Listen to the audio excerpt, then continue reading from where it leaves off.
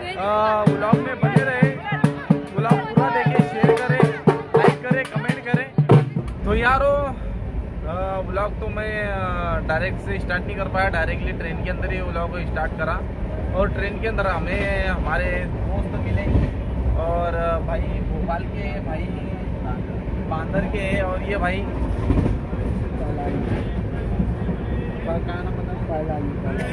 पहला नहीं। तो यारो इनसे बातें करते हुआ हमारा सफ़र कट रहा है और हम जलगांव जा रहे हैं। अभी सवा नौ साढ़े नौ बजे का टाइम है जलगांव पहुँची तकरीबन ग्यारह साढ़े ग्यारह बजे। और इसके अंदर मुझे पता चला कि ट्रेन जलगांव नहीं रुकती डायरेक्ट भुसावल में रुकेंगी तो भुसावल से वापस जलगांव आना पड़ेगा हमें। और बातें करते हुआ हमारा टाइम कट रहा है। बाकी बेचने वाले भी आ रहे हैं। और ये भाई फ्रूट की लाड़ी लगाते और ये भाई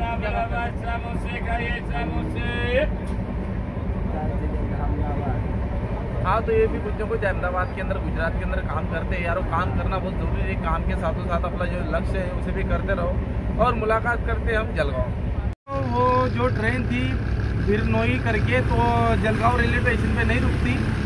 वो यार्ड में रुक गई थी यारों। तो एक भाई ने हमें साबिर भाई की ट्रक के अंदर बैठाया, बोले, गाँव में जा रही, ट्रक तुम्हें जलगांव के अंदर छोड़ देंगी। तो यारो यारो, मुलाकात करते जलगांव में और मेरून करके एरिया है, वहाँ पर कुश्ती है तो तुम्हें ब्लॉग वहाँ पर लेते यारो और यारो, ये जलगांव हाउसे का थोड़ा व्यू, और, हम जाते हुआ अजंडा चौपली तरफ़।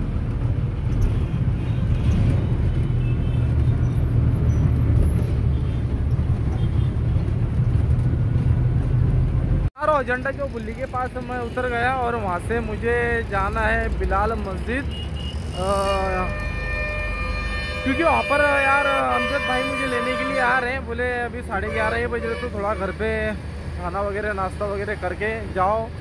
क्योंकि दंगल तो है, समझो क्या रंग उसके अंदर है ना। दो से तीन बजे रंग आएगा यार तो। हम पहुँचेंगे दो बजे।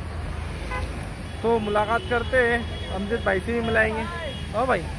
और हमें जलगांव के अंदर पन्नालाल के बेकरी के पास में हमारे फॉलोअर मिले। हाँ बखार। सॉरी बखार बखार। पन्ना लाल की बखार। तो भाई तुम्हारा नाम? मोहम्मद खलील। मोहम्मद खलील भाई इनसे मिलके मुझे बहुत अच्छा लगा। और खलील भाई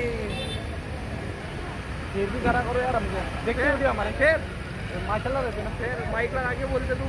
हाँ चलेगा चलेगा। चलो भैया, चलो। तो मैं पहुँच चुका हूँ मस्जिद बिलाल के पास में और बहुत माशाल्लाह मस्जिद है।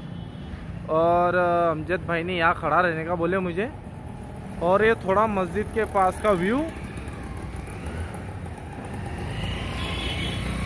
और यारो, अमजद भाई के भाई मुझे लेने के लिए आ रहे हैं यहाँ पर।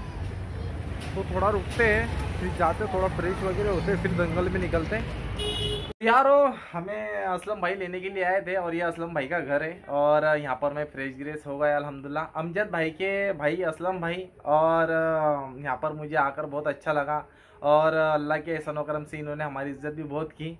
अल्लाह इनको जजाय खैर दे। अब यार हम यहाँ से निकलेंगे दंगल के लिए लेकिन थोड़ा सा आराम कर लेते हैं। और अमजद दादा ने वो खाना वगैरह पका के बने लाए बोले चाय पानी वगैरह लो बोले तो मैं बोला चलो ठीक है। आ, खाना वगैरह खा के फिर निकलेंगे दंगल के लिए आराम से।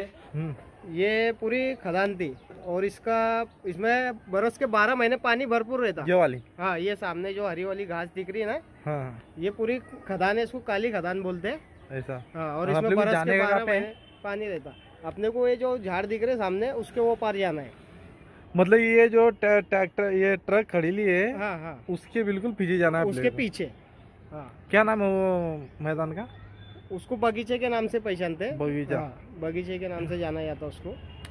तो यारो अमजद भाई आ चुके हैं और फ़िलहाल कैमरे पे नहीं आना चाहते लेकिन उन्होंने हमें बताया कि भाई ये जो है ना तो पहले पूरी खदान वगैरह थी यहाँ पर अभी मिलिट्री कैम्प बनने वाला है ना? हाँ हाँ।